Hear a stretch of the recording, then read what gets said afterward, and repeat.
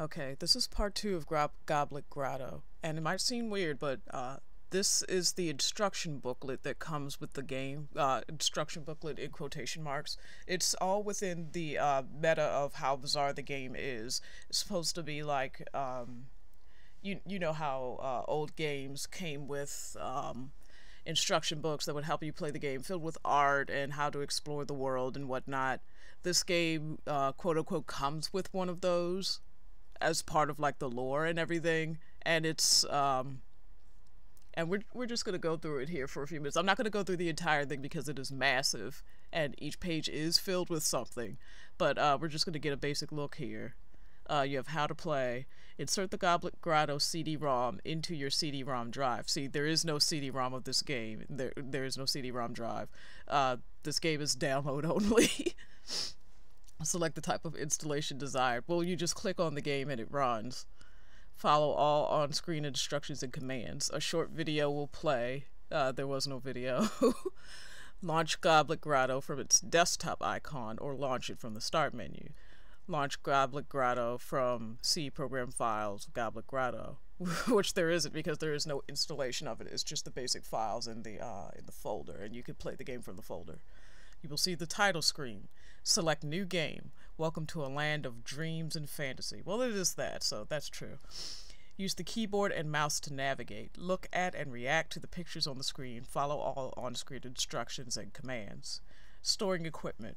Most equipment can be stored inside chests, boxes, and lockers. If a piece of equipment is unusually large, try locating a large chest, box, or locker. there is no equipment to store. You just attack the enemies and collect goblets. Um, so this is where it starts going into um, the whole um, meta lore thing. Testing your blood. Visit the witch for a blood test. you can't do that. Accessing the shop. Again, there's no shop. None of these things are in the game. The shop can and should be accessed 24 hours a day. Try to spend accumulated goblets here, or barter for more goblets. Try to steal more goblets. Buying a house. The most desirable thing is having a house in which to store and display your equipment and goblets. If you have a spouse, they will be waiting here. Click and drag your spouse onto the bed. Click and drag your spouse into the shower. Click and drag your spouse towards your goblet display shelf and observe their reaction. Drag your spouse into the cellar. Fill rooms with goblets. Pack rooms so tightly with treasures and goblets that your spouse cannot move a single inch. Oh my god. Wandering.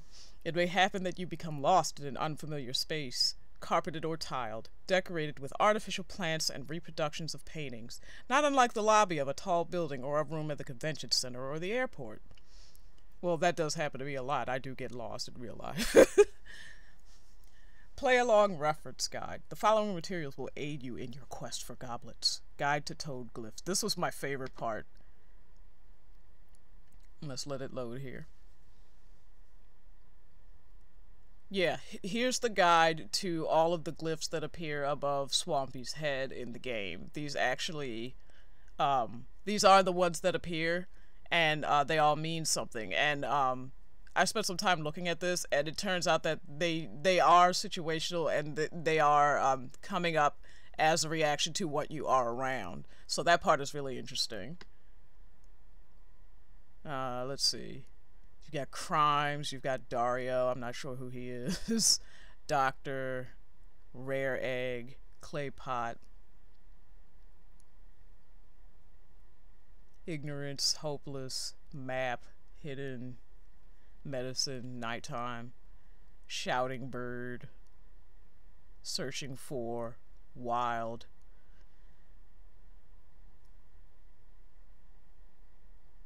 What else do we have here? Below are examples of extremely common phrases formed by creating compound glyphs. Up, oh, Boots of Achilles is broken. Let's see if we can load it.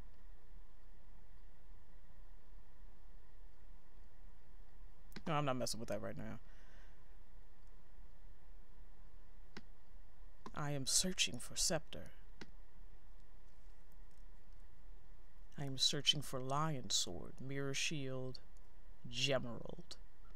I can't find the exit. I don't want to die. You'll see that one a lot. I don't want to die, which is over here. Hello, you'll see that one around, around a lot. Hello, friend, you'll see that one a lot. Let's trade, you'll see that sometimes.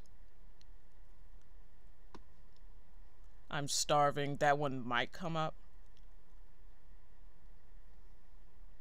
I'm searching for goblets. That one has come up before. And I think there was one for I'm burning or I'm on fire, but I can't remember where that one was.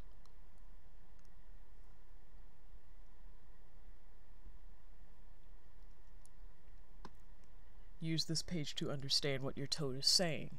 Grotto toads cannot comprehend traditional writing, but they have devised a simple pictographic language. Here are some basic glyphs and their approximate translations. Guide to Monster. Oh my gosh, it's all over the place. And I'm pretty sure the fact that it's all over the place is intentional, so. Tarman, a primitive skeleton. Tarman are produced by locking bodies inside sarcophagi and having them molder away for centuries. Although the result is considerably stronger than a regular slop cleaned skeleton, it has been driven completely insane by the process of long term decomposition and thus has very low rolls for both bargaining and trap detection skills. That sounds like something out of a horror game. Mr. Snake. Mr. Snake will descend to any level of the labyrinth if he thinks it will get him a good deal. This debonair snake is easily recognized by his handsome cape. Every Mr. Snake has a subject of interest, such as astronomy, modern agriculture, ethics, or gourmet foods. If you can if you can determine the subject of interest for a specific Mr. Snake, you run for a specific Mr. Snake, you you run the chance of dealing plus 15% damage per strike. Though though naturally retiring, Mr. Snake will strike if you wander too close. King, large and low bleh, words, large and noble mollusks known for their fierce hatred of the democratic process. See also enzymes. Let me see how far it scrolls over. Oh my gosh. Mystery Moes. Wolf. Mushroom Knight. Policeman. The, we will see policemen in the game. Robber Bear. Brick Bud. Very affectionate. Made of brick. Living Ooze. Can Ooze be alive? An answer is requested. Yes, an answer is requested. Fireman, we will see them. Dwarfs, we will see them. Mummy, I can't remember if we see them or not.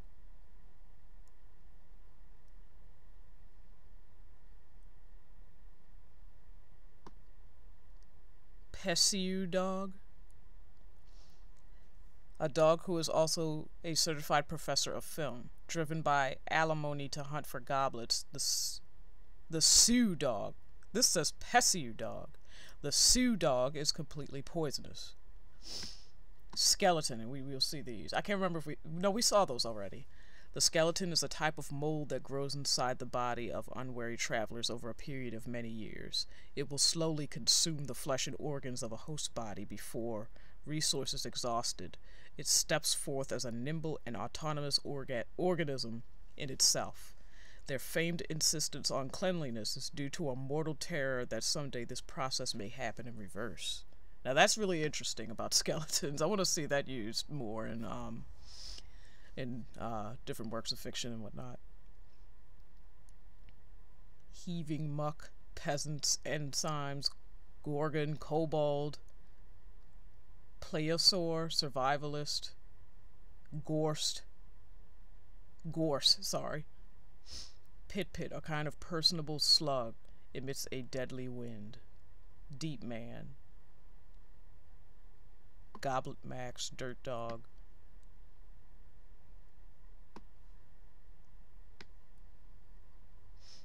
goblet, collect all the goblet. Notice that the goblet is under monster in the uh, Monsterpedia.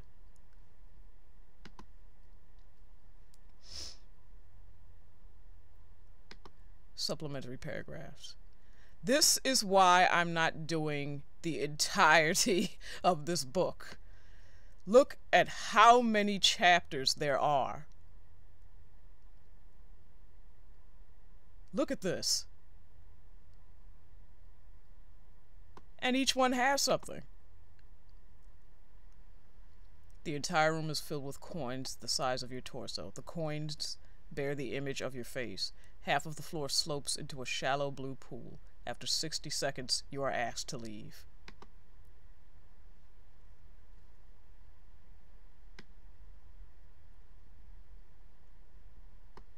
Let's click on another random one. You rub your face, mouth, and body on every surface inside the medicine room, but your disease is not cured.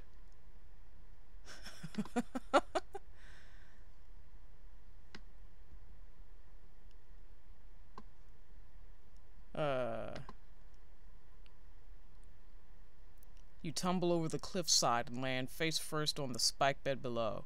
Strong, unseen hands, or maybe tentacles, push your wriggling form deeper into the pit, pulping your flesh and bone until you drip like slurry through the cracks in the concrete basin and into the reservoir below. Inside the reservoir, you find five goblets. This is very much like a horror game. what else can we click on? Oh, okay. The monkeys in the palms are black and motionless. Look, she points, a row of corpses along the path. If they hit you with a coconut, it's an instant kill.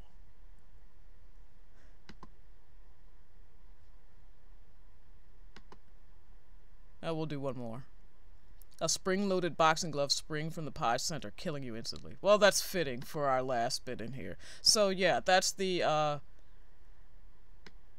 that's the uh, handbook, the guidebook to Goblet Grotto just as weird as the game itself, as it's intended to be. And uh, it's one of my favorite parts of the game. I, I, like how much effort was put into it, and um, I like that um, uh, the developers went out of the way.